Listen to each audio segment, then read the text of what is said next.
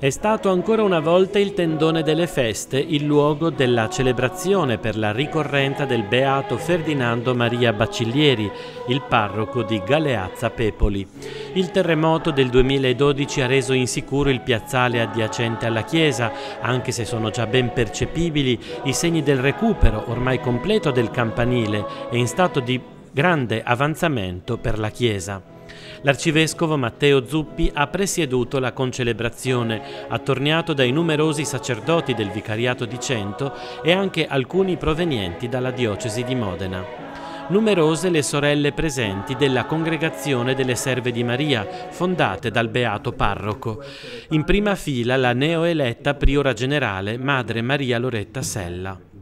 Nell'omelia l'arcivescovo ha messo in evidenza la testimonianza del beato Ferdinando che nonostante i sogni di partire missionario ha messo concretamente la sua vita a servizio del disegno di Dio nel piccolo villaggio di Galeazza Pepoli. La testimonianza di Don Ferdinando Maria, questo fratello che oggi ricordiamo, ci aiuta anche a noi a metterci in gioco, a mettere in gioco il nostro dono per compiere le cose grandi dello Spirito.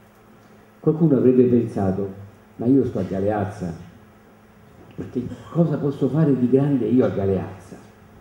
Lo dico con molto affetto e con moltissimo rispetto, ma qualche volta uno può dire, vabbè, sto qui, mi occupo del mio piccolo e basta. E invece quante cose ha messo in movimento, restando qui, restando in un punto preciso, eh, Don Ferdinando Maria. E dobbiamo dire perché? E perché si è fatto piccolo perché si è fatto umile e proprio per questo è stato grande. La registrazione integrale dell'omelia è disponibile nel nostro canale di YouTube. Galeazza, detto ancora l'arcivescovo, non era certo il posto più importante della diocesi di Bologna, ma il beato Ferdinando l'ha resa grande d'amore. Il campanile è importante perché non si capisce il cielo senza alzare lo sguardo da un punto non si capisce la Chiesa se non c'è qualcuno che gli è diventato caro. La Chiesa non è mai virtuale, non è mai un amore generico. È fatto di quello, quello lì, quell'altro lì, quelle persone lì che mi sono diventate care. Non si capisce il cielo se non partendo da un punto, da questo campanile. Ma senza l'orizzonte grande, il cuore si chiude e si ammala. E la malattia peggiore è la paura che indebolisce e fa chiudere.